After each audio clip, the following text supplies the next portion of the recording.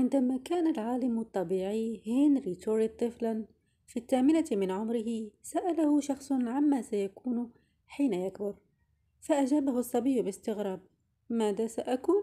سأكون أنا. إجابة غير متوقعة من طفل صغير لكنها تحمل معنى عميقا جديرا بالتأمل. معظمنا ينظر إلى الطفولة كمرحلة للتحضير. كفترة زمنية نتهيأ خلالها لنعيش بعد ذلك الهدف الأسمى. مرحلة البلوغ والرشد. هذه الرؤية تحملنا على إسقاط معايير على الأطفال. ننكر عليهم حقهم في طفولة مفروض أن تعاش بخصوصيتها بسذاجتها وعفويتها وحماقتها. لنطلب منهم التصرف كما لو كانوا كبارا. الطفل مثال للعفوية. هو صادق في أفعاله ورغباته وعندما يكذب فهو يفعلها تحت ضغط الكبار وخوفا منهم.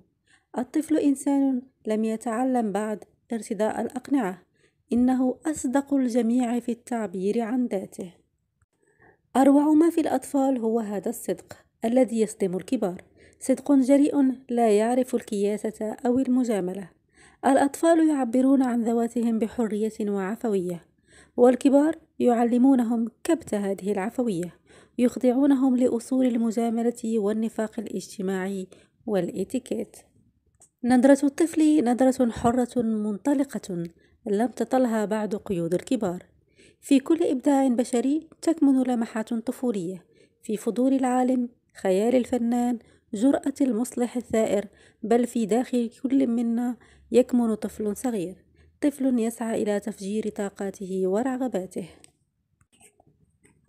مباهج الحياة تختفي وراء أشياء بسيطة والنوت الحقيقي لا ينكر هذه الأشياء. قدرتنا على أن نضحك من أنفسنا والنظر إليها بقدر أقل من الجدية هذا نوع من النضج.